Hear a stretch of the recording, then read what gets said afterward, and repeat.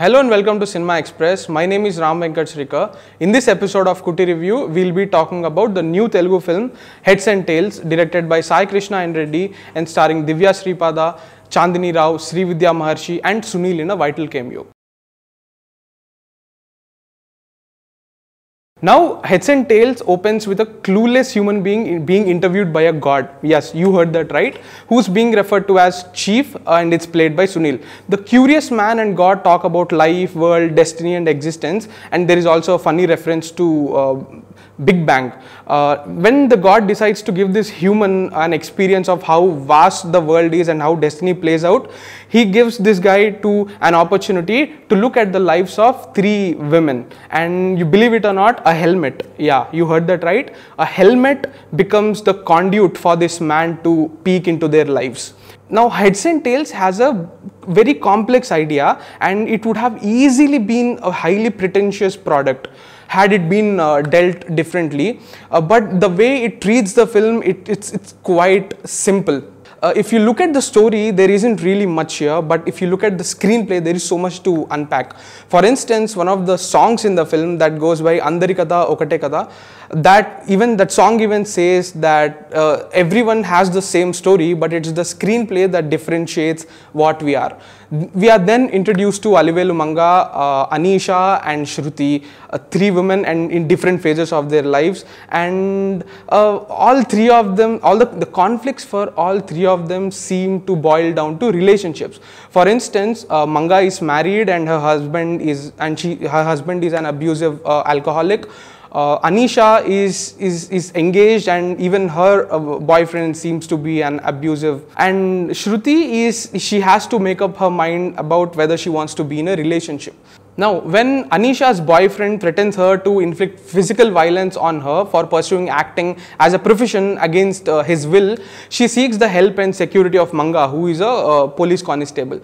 Now, this film is all about conversations and dynamics between these characters and how they bond over uh, over one night the interactions feel real.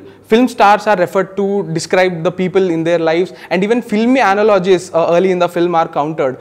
Early on in the film, uh, parallels between the lives of Manga and Anisha are drawn where you can see uh, their lives cutting between and how similar their lives are. Shruti's arc, however, it doesn't merge with the central proceedings although there are a couple of threads connecting this uh, storyline to the, the original storyline uh, I really didn't see a point in that and I even wondered whether Shruti's absence would have added anything to the film other than substantiating an emotional arc for a particular character.